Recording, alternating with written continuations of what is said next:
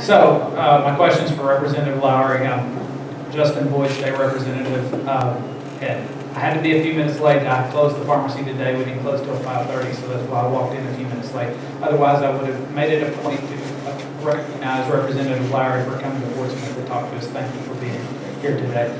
Um, So just simple question. Today, if we had a legitimate piece of legislation regarding critical race theory or 1619 project or both, how do you think the, the House and Senate would respond now versus when we were in session? Thank you. Well, I think uh, Joey, uh, or or may may have been you, someone made the con- comment that we were really ahead of our time, and we really were. Uh, As soon as we adjourned, numerous states were banning, including governor, Governor DeSantis, I know, really took a strong stand.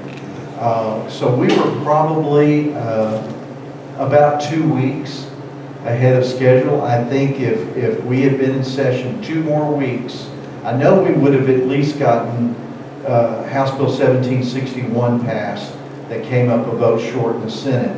That one senator, and I don't mind telling you who the senator is because I'm trying to find him an opponent. Uh, Senator James Sturch from Batesville voted no.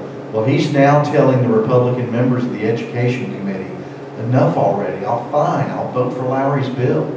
But it's too late. It's too late now. So if you know anyone in Batesville, any good conservative, he needs an opponent, okay? So I'm not a bit shy about that. Um, But I think that we would pass something, and frankly, I would hope that we would not just pass House Bill 1761, which really gave too much power to local school districts. That was one of the things I didn't like about what Representative Murdoch wanted in the bill. He still wanted to leave it up to the school district to decide whether they would implement a policy or not. I think we ought to go right back to the very beginning and say, no, state of Arkansas says you will not teach it. And uh, yes, we would pass it now, I do believe that.